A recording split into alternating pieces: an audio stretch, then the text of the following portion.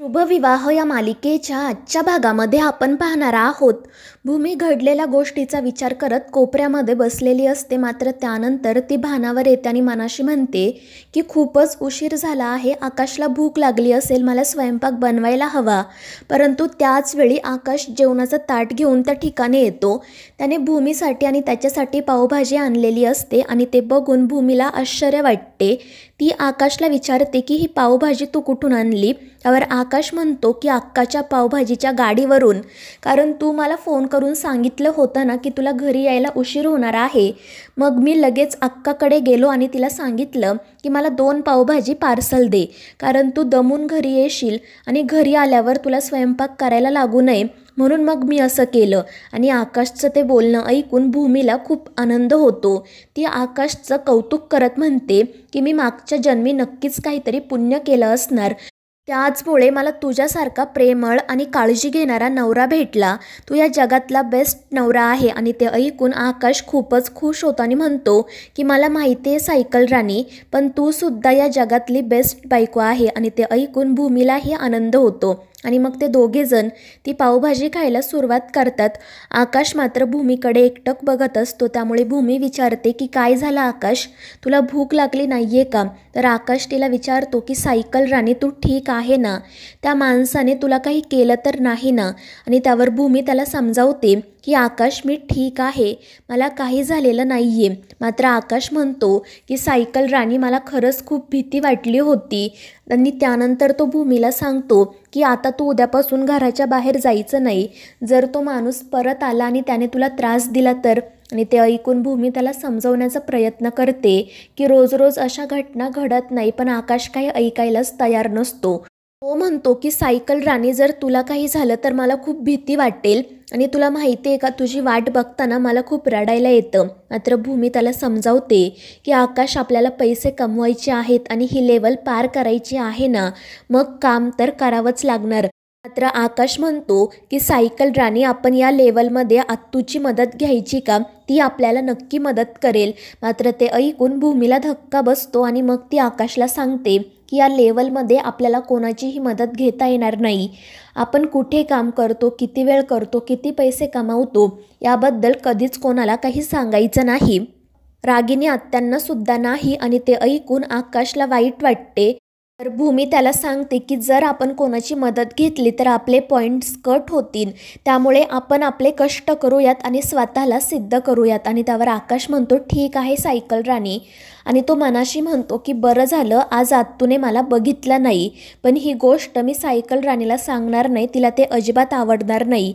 आणि मग तो रागिणीबद्दल भूमीला काही न सांगण्याचाच निर्णय घेतो. आणि मग ते दोघेजण एकमेकांना जेवण भरवतात.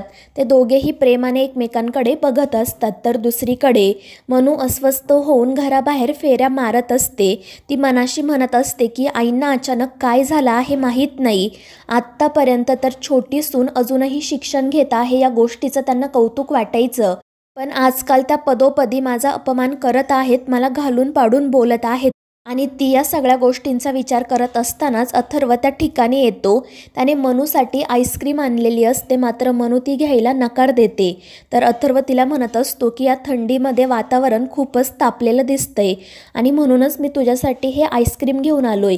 मात्र मनू म्हणते की अथर्व यापेक्षा तू जर आईंपुढे माझी बाजू घेतली असती ना तर मला जास्त बरं वाटलं असतं. पण अथर्व म्हणतो की मनू तुला माहिती आहे ना मी आईपुढे काही बोलू शकत नाही. तर मनू वैतागून म्हणते पण का अथर्व? जर आपली बाजू खरी असेल तर आपण बोलायला का घाबरायचं? तर अथर्व तिची माफी मागत म्हणतो की मनू तसाही फक्त एका दिवसाचा प्रश्न होता ना मग ठीक आहे तू उगाच इतकी चिडचिड करू नको.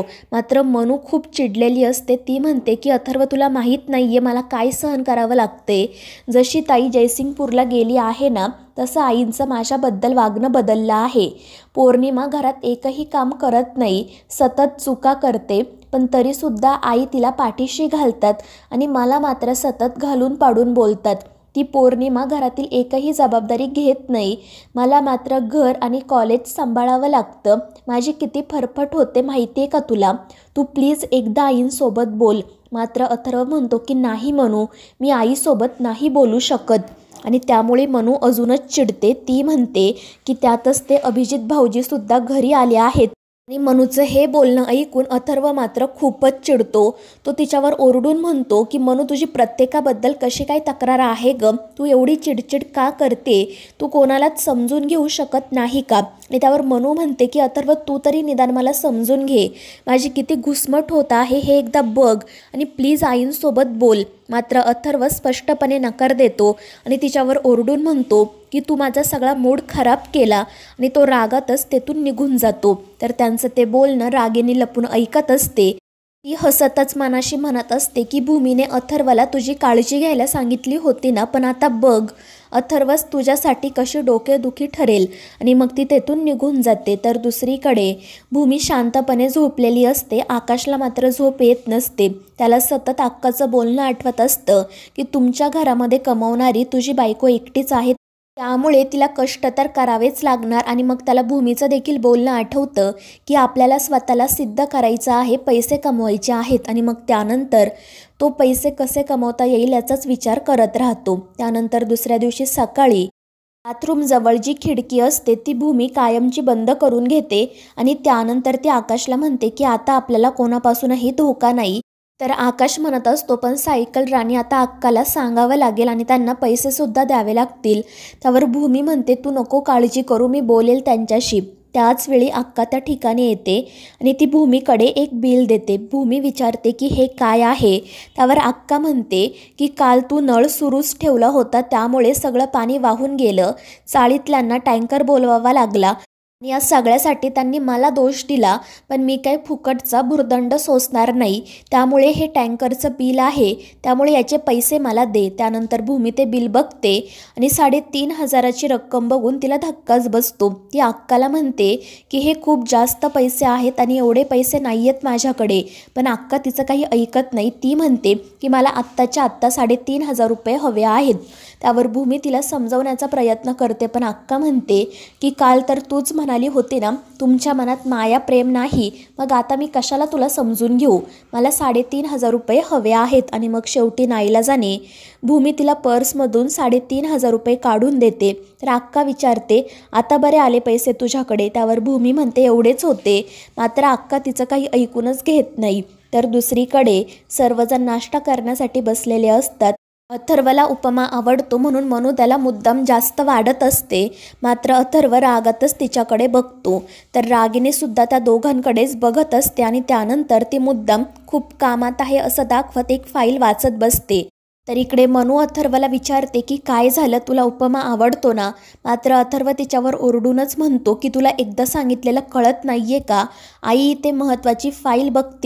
आणि तू काय फालतू बडबड करते आणि अथर्वचं ते बोलणं ऐकून मनूला खूप वाईट वाटतं. पौर्णिमा आणि रागिनी मात्र खूपच खुश होतात आणि त्यानंतर रागिनी मुद्दाम ती जी फाईल वाचत असते ती फाडून टाकते त्यामुळे सगळ्यांनाच धक्का बसतो. तर रागिनी मनाशी म्हणत असते की या कोणाचंच मला आपापसात जमू द्यायचं नाही. अगदी त्या म्हातारीपासून ते घरातल्या नोकरापर्यंत सगळ्यांनी माझ्यावर अवलंबूनच राहायला हवं. तर दुसरीकडे भूमी अक्काला सांगत असते की माझ्याकडे एवढेच पैसे होते. पण अक्का तिला म्हणते की आता महिना संपायला आठ दिवसच बाकी आहे. त्यामुळे या दहा दिवसांच्या आणि पुढच्या महिन्याचं भाडं मला हवं आहे आणि ते ऐकून भूमीला धक्काच बसतो. तर अक्का तिला स्पष्टपणे सांगते की जर मला तू भाडं दिलं नाही तर तुला ही खोली खाली करावी लागेल आणि ती तेथून निघून जाते. तर घडलेल्या प्रकारामुळे आकाश काळजीत पडतो. मात्र भूमी त्याला सांगते की तू काळजी करू नको. मी इंटरव्ह्यूसाठी जात आहे ना. मला नक्की नोकरी मिळेल. आणि मग आकाश तिच्या कपाळाला देवाचा अंगारा लावतो आणि तिला बेस्ट ऑफ लक विश करतो. तर मित्रांनो या मालिकेच्या पुढील भागांमध्ये आपण पाहणार आहोत. भूमीला मदत करण्यासाठी आकाशही काम करायला सुरुवात करतो त्यामुळे भूमीला त्याचा खूप अभिमान वाटतो. तर मित्रांनो या मालिकेच्या पुढील भागांच्या अपडेटसाठी आपल्या चॅनेलला सबस्क्राईब करा.